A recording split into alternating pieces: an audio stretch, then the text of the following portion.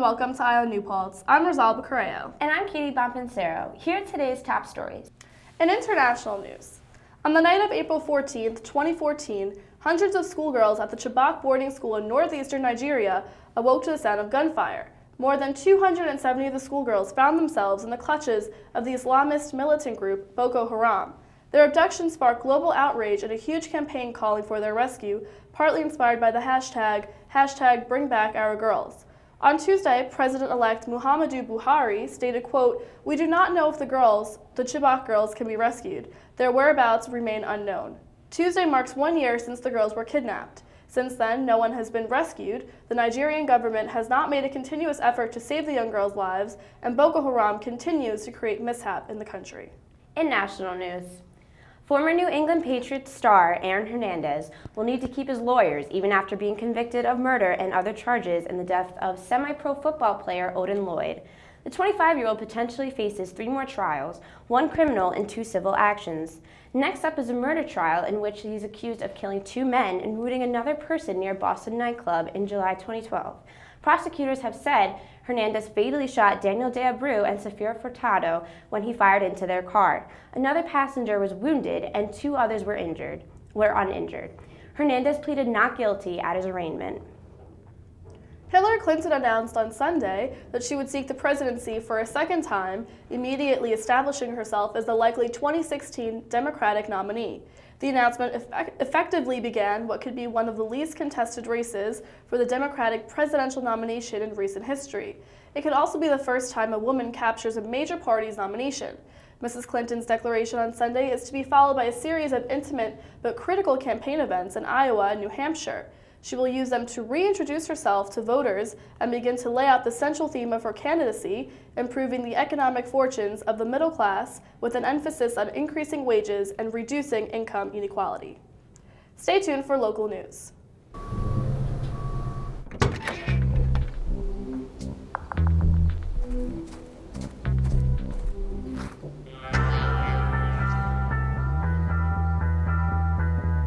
When you throw away money on wasted electricity, you're throwing away everything you could have bought with it. Saving energy saves you money. Learn more at EnergySavers.gov. In local news, last year the Village Board of New Paltz voted unanimously to require businesses to stop providing plastic checkout bags to customers. The law went into effect the beginning of this month, and since then, SUNY New Paltz students have seen a number of changes around campus.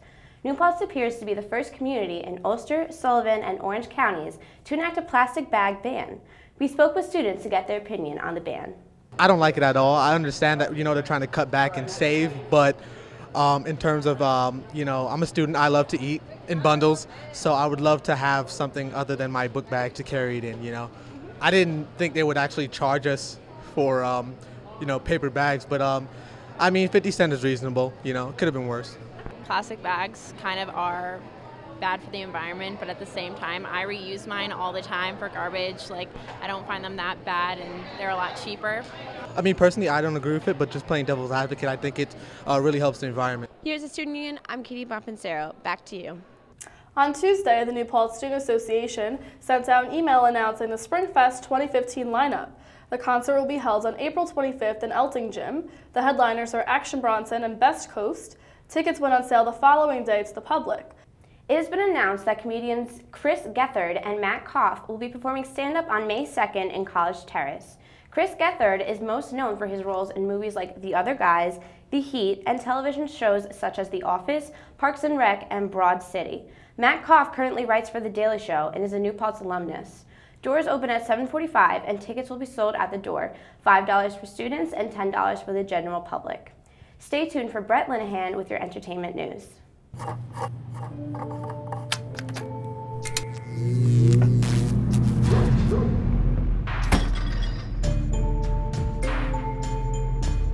Traditional light bulbs actually generate nine times more heat than light.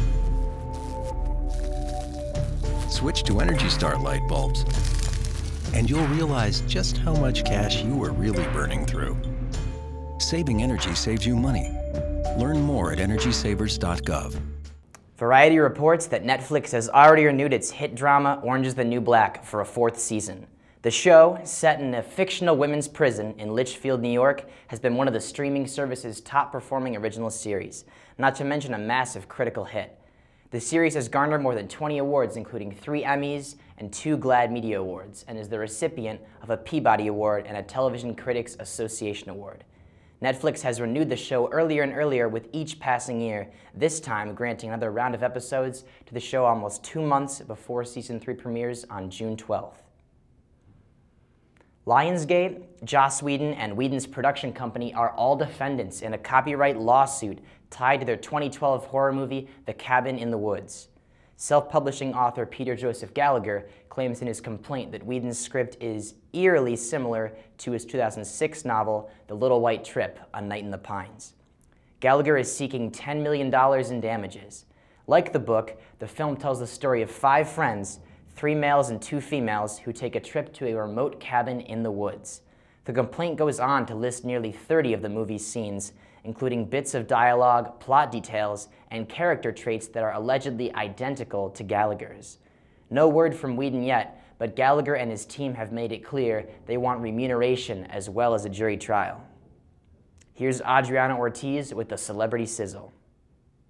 On Sunday at Coachella, superstar pop diva Madonna shocked the crowd by pulling rap star Drake in for a long, unexpected kiss. Mwah. The 56-year-old mother of four continues to show she has no boundaries on stage and won't stop bringing the sexy. Madonna has famously kissed Britney Spears and Christina Aguilera in the past. The internet is buzzing with gossip and rumors wondering, could this be Drake's initiation into the Illuminati? Speaking of the Illuminati, on Monday, Northwest, daughter of reality star Kim Kardashian and Grammy Award winning rapper Kanye West, was baptized in Israel after a family trip to Armenia. The celebrity tot was baptized in St. James Cathedral in the Armenian quarter of the Old City of Jerusalem. Just another way that baby Northwest life is more fabulous than ours will ever be.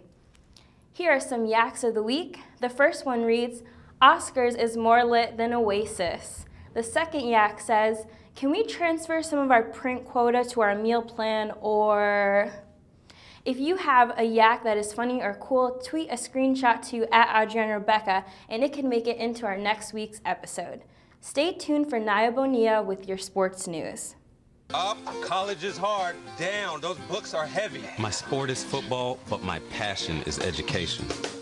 So every year I take promising high schoolers on a college tour to show them that higher education means a brighter future. My name is Nnamdi Asomugha. I don't just wear the shirt, I live it. You can be a reader, tutor, or mentor too. Take the pledge at liveunited.org slash volunteer. Do you wear this? The New Paltz baseball team surrendered a three-run lead after the seventh inning to visiting Union College on Tuesday night, falling to the Dutchmen 9-7 at Cantine Park. With the defeat, the Hawks dropped to 4-16 overall and will host SUNY Oneonta tomorrow evening at 7 p.m. in a State University of New York Athletic Conference contest. The New Paltz women's lacrosse team rallied from a 4-0 deficit to start the game and tied the score three different times, but the Hawks were defeated by Vassar College in a 12-8 loss to the Brewers in a non-conference game Tuesday at the Old Turf Field.